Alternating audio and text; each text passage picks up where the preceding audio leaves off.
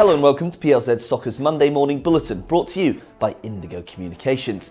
Celtic stayed four points behind league leaders Rangers after overcoming Dundee United 3-0 at Tannadice yesterday in one of their best performances of the season. Tom Rogic, David Turnbull and Liam Scales were on the score sheet, but it could have been many more with 24 attempts at goal.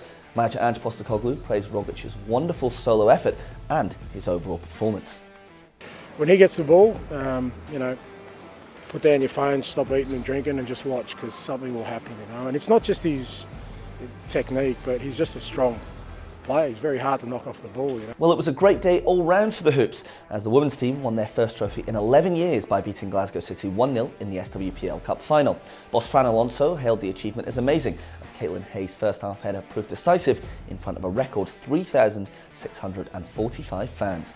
Turning back to the men's game, Hearts tightened their grip on third place with a narrow 1-0 win at Livingston yesterday, whilst Rangers stayed top thanks to a convincing 3-0 victory over Dundee on Saturday.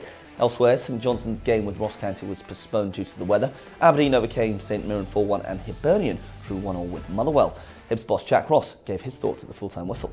At the start of this period, we didn't play well with a couple of performances here against United away up at Torgeby. We weren't great, but latterly we've been we've been okay in terms of how we've played. It's just turning that into results, which you need to know.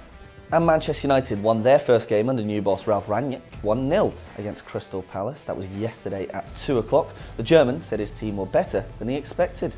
I'm more than happy. I was uh, uh, positively surprised um, by the physical state and uh, the intensity. Uh, the first half hour was amazing. I felt it was extremely high tempo, high intensity, always on the front foot.